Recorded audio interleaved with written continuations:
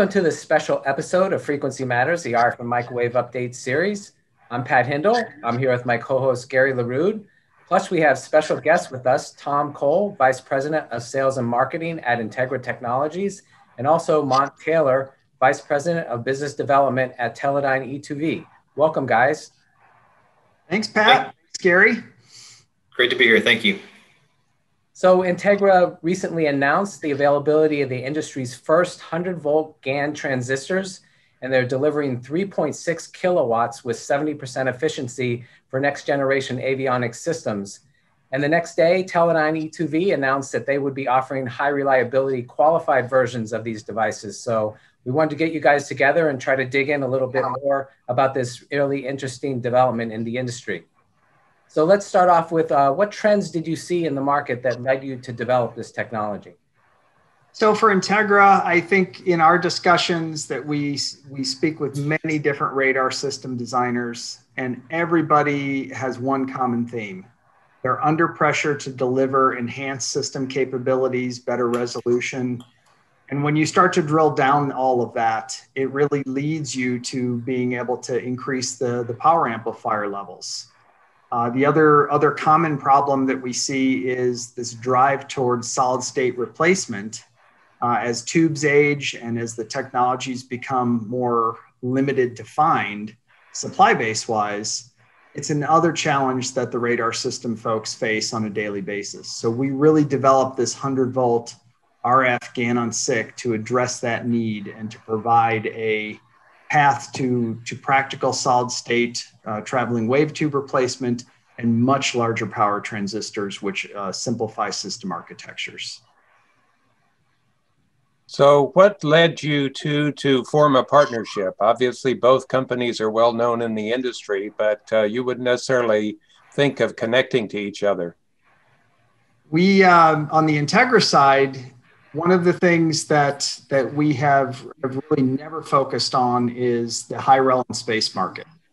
So when we looked at the technology and really the, the Department of Defense and our partner in, in developing this technology's desire to make it available to all aspects of DoD, one of the areas we asked ourselves was how can we leverage and go towards a market like high rel space and who is the best person to partner with from a, a company standpoint that has the history and the expertise specifically in high rel and that that led us very quickly to the the folks at teledyne. And we're very excited to be able to form this partnership and really extend it to take advantage of the 100 volt process and allow that to go into solving problems for the high rel market as well. Yeah we work with several different uh, partners that uh, don't necessarily focus on the aerospace defense market. That's all we do. So it works out very well to be able to provide the latest technologies um, to uh, the high rel market with the type of qualification and screening that they require. Sounds like a great combination.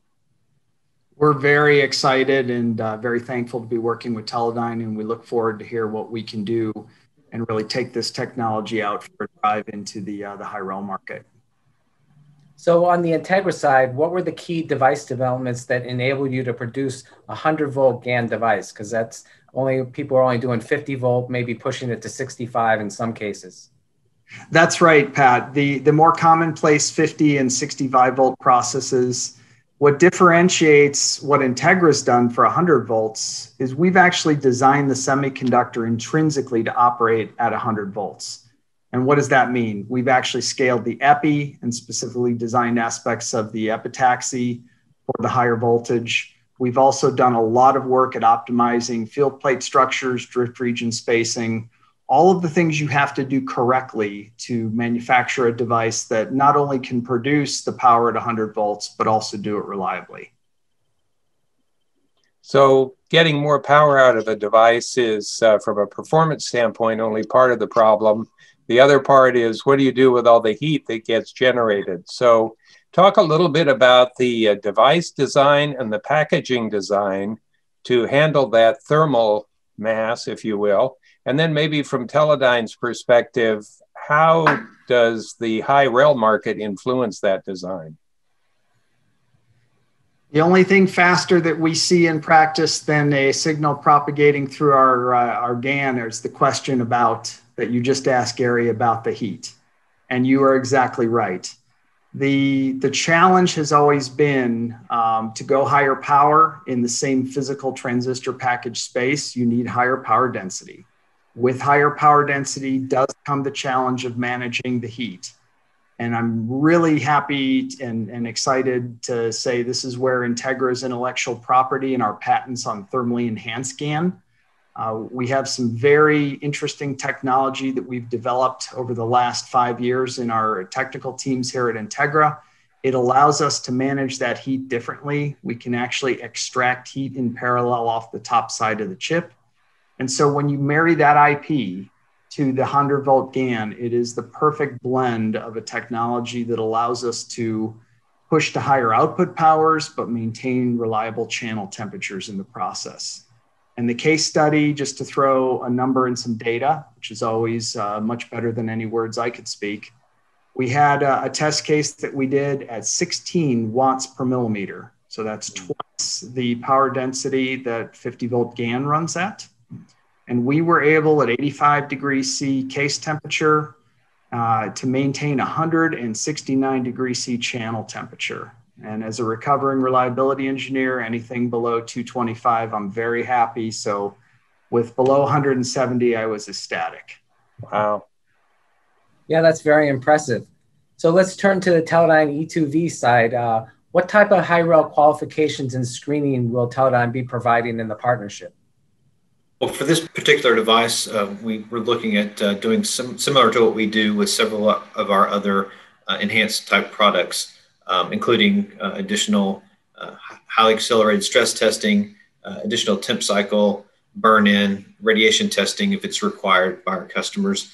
we're looking right now at some of the requirements and trying to understand what level of additional screening is needed. It's a very good, reliable part, but there's always requirements for additional documentation and things like that. So uh, at that point, we're, we're maybe doing some additional life tests, um, evaluating it uh, for, like I said, for radiation for space and other applications.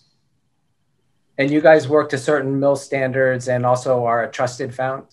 That's correct. We have facilities that are uh, MIL PRF 38534 and MIL-PRF 3535, uh, both in our Milpitas facility and then Lewisburg, Tennessee facility. And then we also are DMEA trusted as well. So we can support uh, uh, some more classified type requirements if necessary. Well, I believe the first product that uh, you announced was one for avionics, but talk more broadly about uh, what are the types of markets and applications for this technology, uh, both normal defense as well as high rel. So from the Integra side, we see a, a lot of other uh, opportunities to expand beyond just radar or avionics. There are, are, a whole suite of ISM type of applications, particularly medical ablation, that have been begging for a higher power transistor to be able to reduce system size for cancer treatments and other type of medical ablation. So we see those as being uh, kind of uh, a new entrant in a new area that we can uh, pursue. Traveling wave tube replacement, uh, all sorts of ground-based, ship-based radars that could utilize a much higher power transistor to go to solid state and get away from tubes and some of the reliability uh, limits that they have with that base uh, of, a, of a legacy architecture. So we see uh, this really opening the field and the aperture, even all the way into some of the very wideband jamming aspects, as well as doing uh, directed energy type of systems. All of these things have a common denominator of being able to really utilize a much higher power or broader band device. And happy to say the 100 volt meets both goals, and we're excited about that and from the Teledyne perspective, it's all those similar type of uh, applications that may be airborne or need some additional um, harsh environment uh, requirements that uh, we can help screen to. Well, thank you, Tom and Mont, for joining us today to discuss the uh, introduction of this 100 volt GaN technology, first in the market. The technology clearly will enable some improved performance as well as new applications for solid state technology. And we'll be watching for the new products as you introduce them and uh, some of the insertions that you are able to talk about. And thanks everyone for joining us today and watch for our next episode of Frequency Matters.